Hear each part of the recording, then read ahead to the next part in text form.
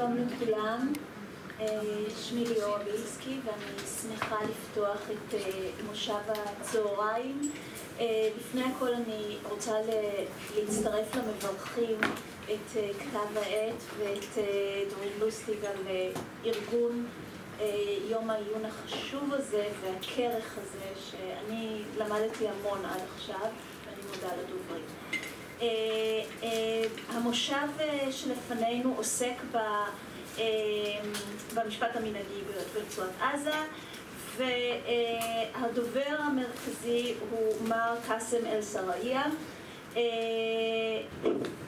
מר סרעיה הוא חבר סגל במרכז מנדל למנהיגות בנגב, הוא דוקטורנט במחלקה ללימודי מזרח תיכון באוניברסיטת בן גוריון בנגב ובעל תואר שני מהחוג להיסטוריה של המזרח התיכון ואפריקה מאוניברסיטת תל אביב.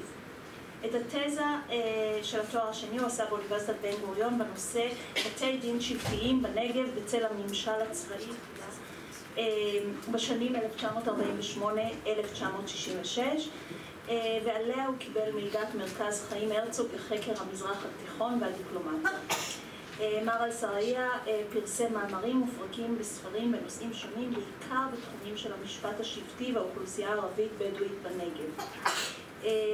למאמרו יהיו לנו שני מגיבים, האחד פרופסור אלכסנדר סנדל קידר שמשמש כמרצה בכיר בפקולטה למשפטים באוניברסיטת חיפה. תחומי העניין שלו, הכתיבה זה גיאוגרפיה של המשפט, קניין, משטר המקרקעין בישראל, היסטוריה משפטית, פרסם ספר מאוד חשוב בנושא הקרקעות של הבדואים.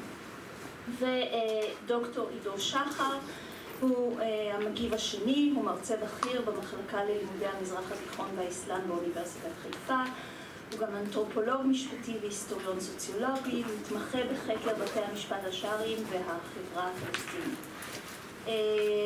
דוקטור שחר כתב רבות אודות פלורליזם משפטי, בתי משפט שרעיים בישראל ופלסטינים בישראל בכלל, כך שצפוי לנו לדעתי מושב מרתק, הבמה שלך.